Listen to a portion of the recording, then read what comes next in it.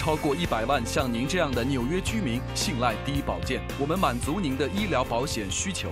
第一保健提供您人生每一阶段符合您预算的计划选择，请今天就询问并了解更多资讯。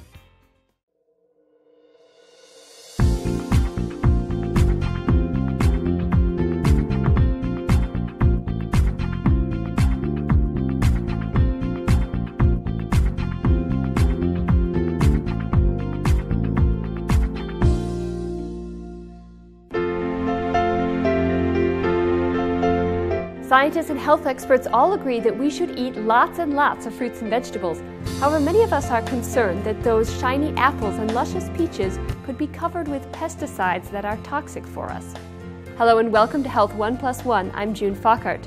Today I'm going to talk about why it's much better to eat organic and how you can protect yourself and your family from eating too many pesticides. In the US, it's the EPA that regulates pesticides on produce to supposedly safe levels, although some individual states have set their own stricter requirements. Now, however, according to Consumer Reports, a flaw in this regulation process is that when pesticides are tested for toxicity, they are tested in isolation, which means that the safety levels are set for how much of that one pesticide we can safely tolerate. But most conventional fruits and vegetables have more than one pesticide on them, so we don't really know how safe or dangerous these combinations are. And studies have shown that pesticides are detectable in our bodies. A study done at Emory University in Georgia followed a group of preschool and middle school students for about a year. When the children ate non organic produce, the researchers found traces of pesticides called organophosphates in their urine. In the US, organophosphate pesticides account for about half of the pesticides used on food. And they're a type of neurotoxin that kills insects by interfering with their nervous system. And overdoses can kill people. And even more concerning, according to the National Institute of Environmental Health Science, studies in animals showed that even a single low level exposure to certain organophosphates during particular times of early brain development can cause permanent changes in brain chemistry as well as changes in behavior like hyperactivity. Research also suggests that when young children are exposed to these pesticides, it can have lasting effects on learning and attention. So, obviously, these pesticides are not something you want your children to be eating.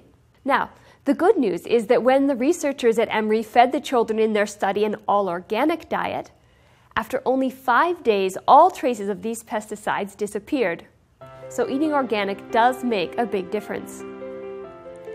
Now, it may not be possible for you to get organic food all the time, so two things you can do to reduce your exposure are number one, avoid the most contaminated fruits and vegetables, and number two, wash your fruits and vegetables properly. So, how can you know whether a fruit or vegetable has a lot of pesticides? Well, thankfully, two organizations, Consumer Reports and the Environmental Working Group, have independently tested produce bought in the US supermarkets, and they've come up with a list of what's most contaminated. Now, these lists are mostly similar with a few differences.